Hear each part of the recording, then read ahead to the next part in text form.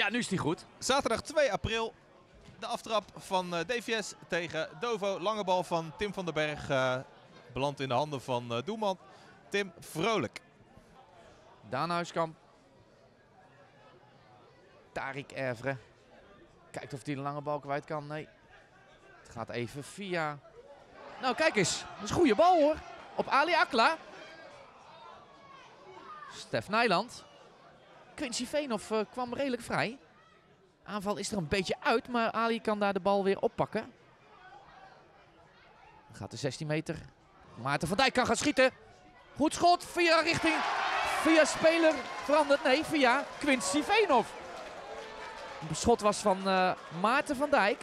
Quincy Veenhoff die eh, hem volgens mij nog toucheert. Zo keeper Jeroen Vrolijk kansloos is. De bal van richting veranderd. En zo staat DVS op een eh, heerlijke voorsprong van 1-0.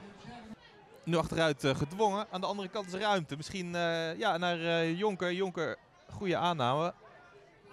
1-2. Gaat de bal weer krijgen. Oh, Raakt mooie aanval. Prima.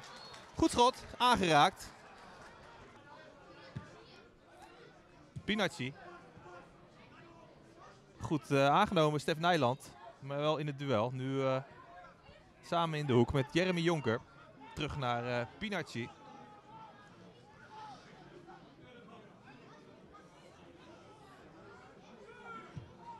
Goeie bal. Pinacci. Ruimte voor Ali Akla. Akla.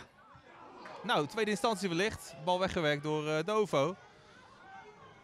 Goeie uitgespeelde aanval van eh, DVS in de achtste minuut. Stef Nijland eh, nu. eh, nee, het is eh, de bal naar... eh, Oh, mooi hakje zegt. Dan gaat Quincy Veenhoff. Hij moet gaan scoren. En dat doet hij. Wat voetbal DVS hier goed zeg. Heerlijk goal hoor.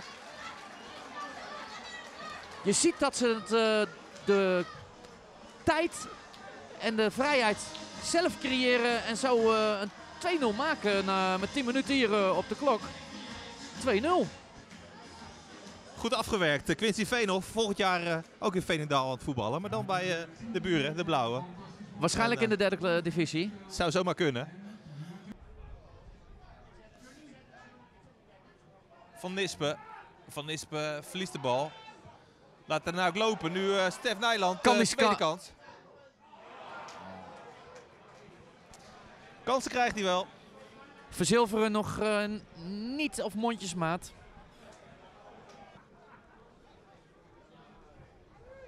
Stef Nijland op avontuur.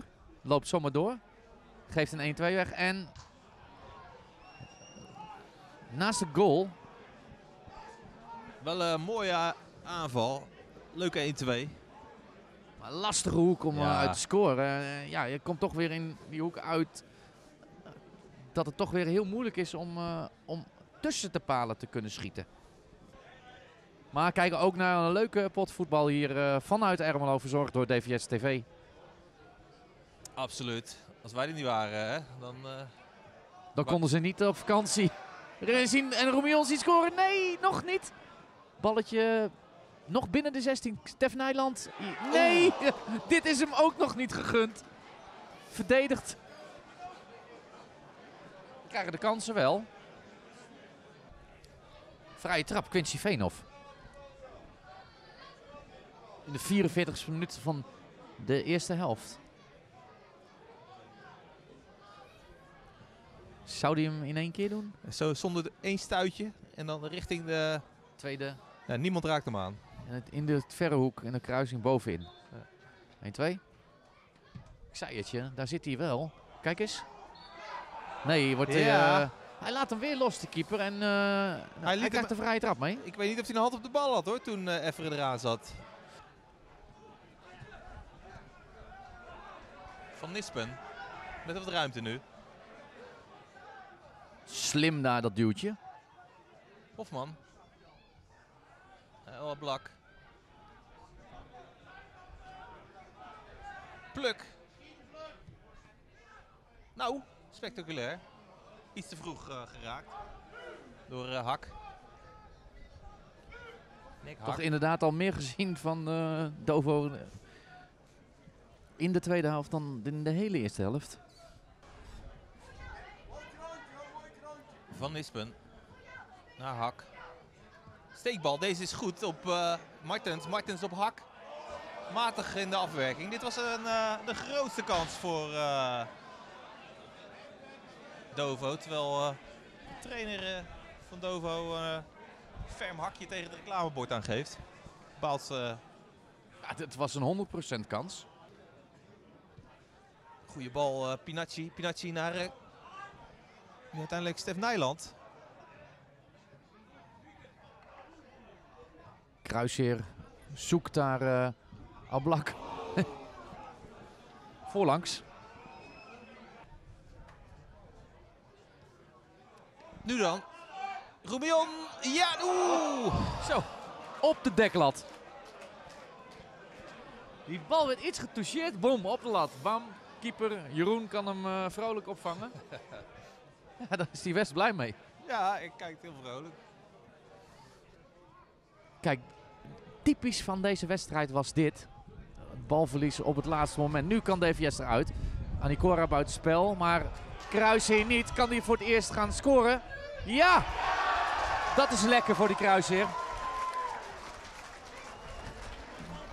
Twee keer stond zijn vizier niet goed. Goed afgemaakt hoor. Goed afgemaakt, goed gegeven ook. En uh, Bekronen in de tweede helft toch met een doelpunt. En uh, ja. die punten zijn nu wel binnen, waren eigenlijk al wel binnen. Maar uh,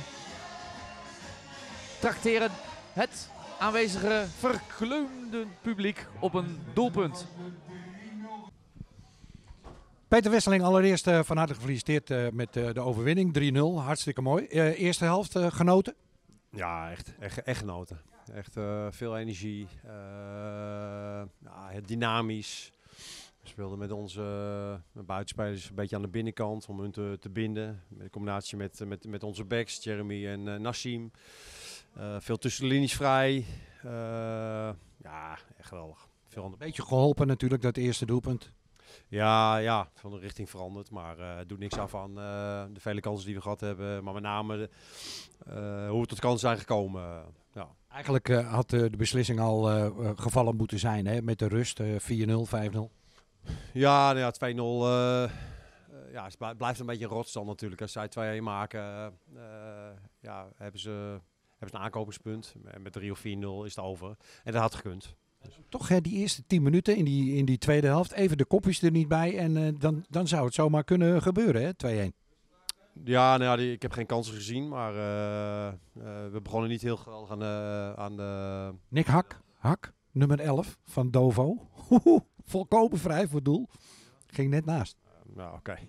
Die, die, was ik gemakshalve alweer vergeten. Dus uh, nee, eh, heel veel uh, wat we de eerste helft niet gedaan hebben, hoeft ook niet terugspelen. Hebben we geloof ik weer 36 keer gedaan de tweede helft. In plaats van vooruit voetballen, uh, initiatief nemen om, om, om toch in te durven dribbelen. Daar ergens een overtal te creëren, ja, was de tweede helft een stuk minder. En waren inderdaad ook hele mooie doelpunten, mooie uitgespeelde doelpunten bij. Ja, maar ook de kansen die we creëren, waar, waar geen doelpunten uitkwamen. Uh, dominantie aan bal, zeg maar, aan de bal. Veel initiatief aan de bal. Uh, de beweging zonder bal. Dus er gebeurde heel veel. Waardoor de tegenstander altijd kiezen, moet kiezen, zeg maar, keuze moet maken. Uh, ja, erg goed. van Stef goed, van Heiri goed spelen. Uh, Maarten geweldig, Quincy geweldig op 10 spelen. Dus Benjamin prima. Dus nou, iedereen dikke voldoende. Ja. En de wissels, ja, dat komt natuurlijk door het drukke programma, denk ik, hè? Ja, we hadden vooraf al gezegd, uh, het is een wedstrijd nog in de tweede periode, natuurlijk kansloos. Uh, ja, we gaan natuurlijk voor de derde periode. Iedereen is fit, hè, buiten Nicky die natuurlijk zijn voet gebroken heeft of zijn enkel. Dus iedereen er weer bij. Dus we, we hebben ook gezegd, we gaan uh, voor de wedstrijd al gezegd in de kleedkamer ook, we gaan sowieso wisselen in, in de rust als het even mee zit. Dus hou er rekening mee. en dat heeft alles te maken met uh, dinsdagwedstrijd en het zware programma wat eraan zit te komen. Maar bijvoorbeeld, Adriaan heeft natuurlijk de hele tijd niet gespeeld. Uh, ja, je gaat ook geen oefenwedstrijden meer plannen in deze periode. Dus ja, hij moet het dan toch hebben van... Uh, dus uh, die wou ook sowieso 45 minuten laten, laten spelen. Ja. Okay. nou, er komen weer mooie tijden aan, denk ik, Peter. Nou ja, de rust is denk ik een beetje wedergekeerd. dingen zijn duidelijk geworden. iedereen is er weer. Hè, dus ook wel lekker weer om nou ja, iedereen weer beschikbaar te hebben. Dat zegt hij ook vaak iets over het niveau van trainen. Ehm, dus uh, ja, ja, laat maar komen. Ja. Stefan Nijland uh, voor de camera van uh, DVS uh, TV. Ik heb het idee dat je de laatste tijd weer een beetje behoorlijk fit begint te worden. Ja, nou ja, eigenlijk na de winststop ja, een serie wedstrijden kunnen spelen. Daarna volgens mij één wedstrijd gemist, ja, vanwege ziekte dan. Maar ja, wedstrijden spelen, dat maakt je gewoon fit. En ja, ik denk dat je dat er wel af kan zien, ja.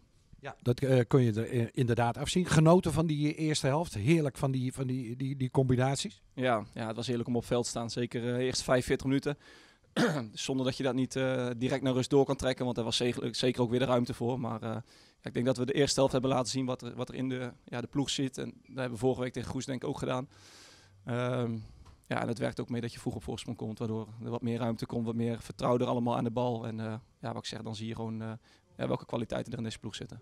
Ja, inderdaad. En, uh, en, maar die kwaliteiten komen niet altijd tot, uh, tot uiting in uh, doelpunten. En het aantal doelpunten, met name van jou, verwacht ik eigenlijk wel iets meer doelpunten. Maar ik denk van jezelf ook hoor. Ja, nou ja dat, is, dat is het hele seizoen eigenlijk al. Hè? Want ik denk echt veel kansen gaat. Elke, elke wedstrijd weer 1, 2 mogelijkheden die erin kunnen of misschien in moeten. En ja, vandaag ben je ook in het aanvalspel met, met, ja, met veel dingen betrokken. En ja, dan moet je gewoon die trekker overhalen. En dat is ja, voor mezelf ook wel frustrerend, moet ik zeggen. Want je ziet wat, wat een goal met, met jezelf doet, maar ook met een ploeg. En uh, ja, hoe lekker je daarvan gaat voetballen eigenlijk. Dus uh, ja, dat is nog werk in de winkel. Wat dat betreft is het ook wel weer lekker voor Adriaan Kruisheer dat hij even zijn doelpuntje weer uh, scoort.